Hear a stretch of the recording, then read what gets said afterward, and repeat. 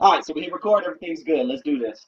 Um, yeah, so uh, LA broke a record, and it's not a record that we should be proud of, but um, we have officially surpassed Chicago in gun violence. Uh, shootings have increased with 600 plus as of today, and 350 homicides in the past six months.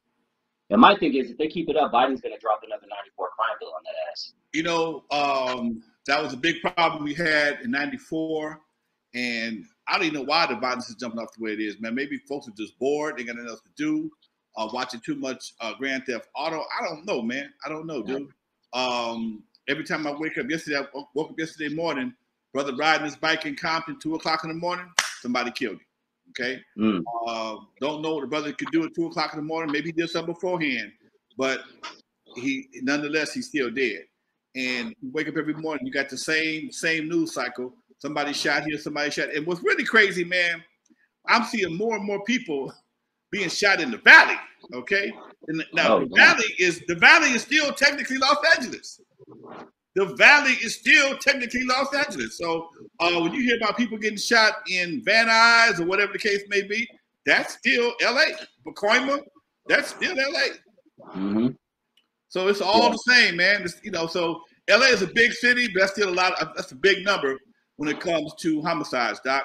And that's what. Yeah. That's yeah. Well, we'll trip out on this, Monto. Um, last year, if my numbers are correct, or maybe it was 2019, one or the other. Within the past two years, we were only like 400 for the whole year.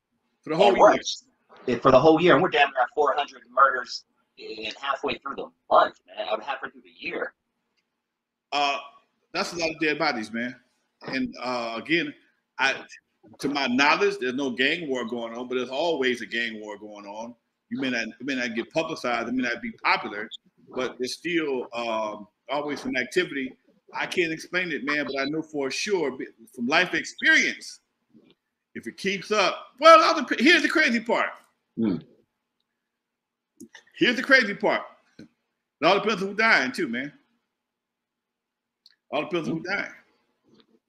If his brother's dying, might not be that bad. It might not change a whole lot. Okay. Other people start dying, things will change. Mm-hmm. Depending on where they dying at. Okay. They died in certain neighborhoods, things will change. They died in other neighborhoods, things might not change. Yeah. You know, it's not about a, sometimes it's not a matter of prevention. It's just a matter of picking up the pieces and doing doing the paperwork. And that's the cold part about this. Yeah, yeah and, and try get and, and try calling nine one one. Try calling nine one one to get in a, a police officer. You know, I, I, I had a conversation with a buddy of mine the other day. I'm about to get in trouble. I'm about to get in trouble. I'm about to get in trouble. I'm gonna say it any goddamn way. I'm an old motherfucker. I can say what I want to say. Um, as progress comes to the community, in some ways, in some ways, gentrification ain't gonna be all bad. That's the cool part about this. Mm. In some ways, gentrification ain't gonna be all bad. Because one thing about it, mm. when certain people move into the community, the police gonna respond faster and differently. Ah. The police will respond faster and differently. They'll come with a smile on their face and not not without the, and not, not with their guns, hands on their guns. Mm. They're gonna come faster because they know some people will will respond to them a different way when there's a situation uh, that needs some witnesses, uh, certain people are going to testify. They'll point your ass out. That was him. Go to court. That was him. Okay. They know uh, their efforts. mm-hmm. That's true. Said, man, they know their efforts will not go in vain because we know we'll we'll see something and we don't see nothing. So we just call them just to get them off of for the time being, and then to keep on going. Somebody else will get shot. Somebody else will come up dead, whatever the case may be and it's really uh, a sad situation, but it's reality of where we are. And uh, yeah. like I said before, uh, as gentrification takes place, those those people who stay here, you'll see a big difference in the services. You're gonna see a big difference in the grocery stores. You're gonna mm. see a big difference in a whole lot of stuff. Mm. Okay? Man, if I know you want to stay here.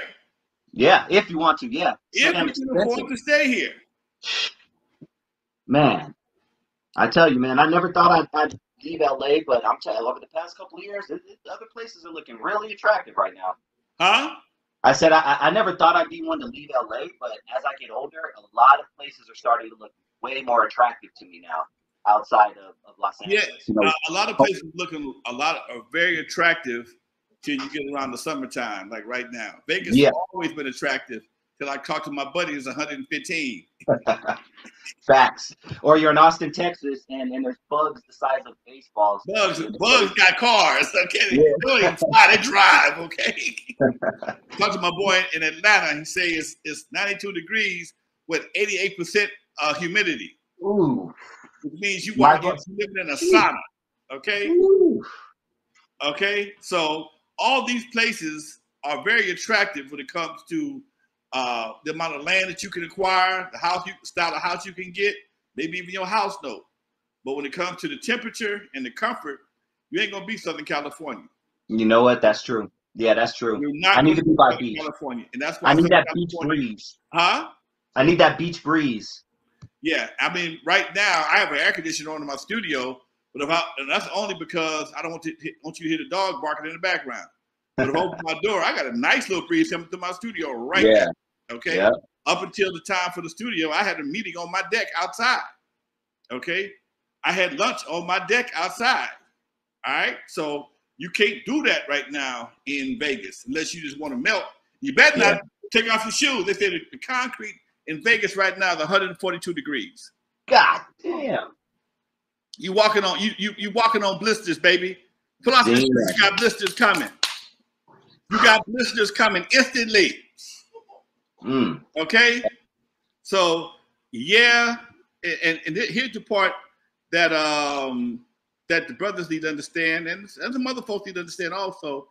You need to chill out because as uh just like they did in so many other places, they'll come through here and start doing a sweep, come up with a new law that you ain't understanding, and everything that you thought was cool go out the window, and you'll find yourself in one of them hot ass jails someplace cross country um, that uh, you know anybody in the town look like you, but you in a you in a jail full of brothers looking like you. So you might mm-hmm. want to think about what you're doing because it's it's it's real. It's happened before. It ain't yeah. like it never happened before. Mm-hmm. That's how we got that, that first crime bill. Yeah. All right. Yeah. And, and like I said, as a 43 year old property owner, taxpayer, legal citizen, if something like that showed up on my ballot, I would probably vote yes for it. Dude, and that's the problem that that, that, that I answer that's the problem. That's the scenario that we face with. Excuse me. When we um when you have property, when you have you got to invest, you just can't pull up things, man. Mm-hmm. You just can't pop up out of here and sell your house change change job. You got too much invested in your in your community. Yeah. You know what I'm saying? So it's real hard to just pop up, pull up stakes, go someplace else and get reestablished. Yes, people work at home every day, but it, you know, your job might not be one of them jobs. I don't know what you do for a living, but it might not be that kind of situation. Mm-hmm. Um, you know, I'm, I'm very comfortable working in my studio. I can work pretty much anywhere in the country, but I like my studio. I'd hate to have to move all this shit out of this place, man. Oh, yeah. dang. Yeah. I'd hate to move all this stuff out of here, man. But I, if I had to, I would. But I would hate to have to do it. It would take me days just to unbolt shit. Okay. Mm. Just to, you know, I mean, I had to get one of them damn uh, uh, a 40 foot uh, trailer in front of my house just to pack up the studio. Not, I ain't talking to the house, I want the studio. it take it would take two it would take two studio, take two trailers um, at least to uh, move the studio, my under garage in the garage because I got so much stuff I've accumulated over the years. And I'm not bragging. I'm just saying, you know, I'm a, I'm a, I'm a hoarder. I got yeah. I got three fucking hair trimmers.